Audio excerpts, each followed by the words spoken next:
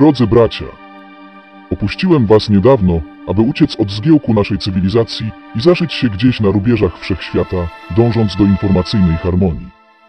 Jakież było moje zdziwienie, gdy po drodze trafiłem na ciekawostkę. Jak się okazało, po przeszukaniu naszych archiwów, była ona już wzmiankowana przez innych naszych podróżników. Znalazłem relacje Kryszny, Jahwe i Buddy.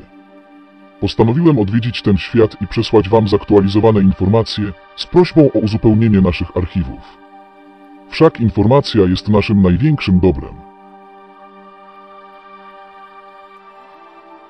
Na pewno wartą bliższego przyjrzenia się jest kwestia apokalipsy, którą zaordynował tej osobliwości jeden ze wspomnianych wizytatorów, bodajże Jahwe. Moim zdaniem pochopnie. Ale to już niech rozstrzygnie nasza komisja. Ja bym tego świadka jeszcze nie przekreślał. Uważam, że szkoda środków na uruchamianie apokalipsy na tak niskim etapie rozwoju. Jeśli faktycznie ten wytwór jest tak nieudany, jak ocenia Jahwe, to wykończą się sami. Zwłaszcza, że Kryszna i Buddha nie byli aż tak krytyczni. No i jeszcze zastrzeżenie, że moja relacja i powierzchowne interpretacje mogą być obciążone doświadczeniami z moich poprzednich wizytacji w niezwykle różnorodnych światach. W tym świecie mamy do czynienia z biliardami makroistot zasiedlanych i sterowanych przez oktywiony mikroistot. Makroistoty zdają sobie sprawę z istnienia mikroistot, lecz nie z ich władzy. Natomiast mikroistoty odwrotnie, zdają sobie sprawę ze swej władzy nad jakimiś tworami, lecz nie z tego, kim naprawdę są ich żywiciele. To ciekawy paradoks. Istoty, które rozwinęły wyrafinowane koncepcje filozoficzne, są pod władzą prymitywnych mikroistot pozbawionych jakiejkolwiek filozofii. Nie wzmiankował tego żaden ze wspomnianych podróżników, więc teza ta wymaga weryfikacji. Stan permanentnej pandemii sprytnie, trzeba przyznać, zarządzanej przez mikroistoty, wskazywałby na to, że mikroorganizmy panują nad organizmami makro, a nie odwrotnie. Co wszak nie przeszkodziło istotom podporządkowanym wytworzyć dość bogatą kulturę. Chociaż mocno skażoną różnymi religijnymi aberracjami. Lecz tego można się było właściwie spodziewać po tym, że nie zrozumieli, iż wcale nie są władcami tego świadka. Dość dziwny wydaje mi się ich kult głowy, którą czczą na różne sposoby, jakby stanowiła jakąś niezwykłą wartość w ich kulturze.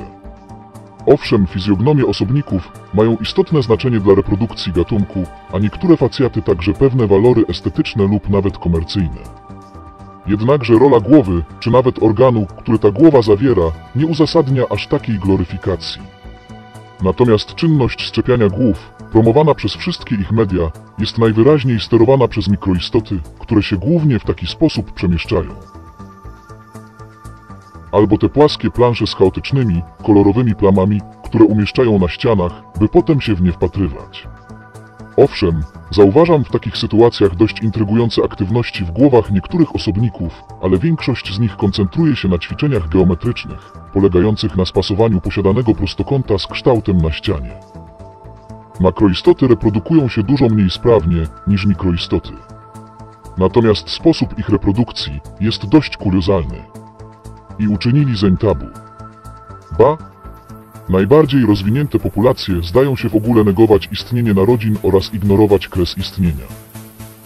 Albo kwestia teleportacji. Mają bardzo zaawansowaną matematykę, rozszczepili atom i odkryli fizykę kwantową, a ciągle przemieszczają się na wielce archaiczne sposoby. Mam jednak teorię, że oni, z niezrozumiałych przyczyn, po prostu zrezygnowali z teleportacji tak, jak z jedzenia mięsa, czy z użytkowania szkodliwych substancji bo natrafiłem na pomnik teleportacji na brzegu rzeki, w jednym z miast, który budzi ogromne zainteresowanie i chyba przywołuje jakieś traumatyczne zdarzenia. Oczywiście, lokalna teleportacja ma swoje negatywne strony, ale nie aż takie jak te ich tak zwane środki lokomocji. Budynki najważniejszych urzędów zdecydowanie wyróżniają się spośród innych zabudowań. Przyciągają całe rzesze interesantów, którzy w skupieniu załatwiają urzędowe sprawy całymi rodzinami albo w zorganizowanych grupach. Zaiste bracia. Tak monumentalnej biurokracji jeszcze mnie spotkał.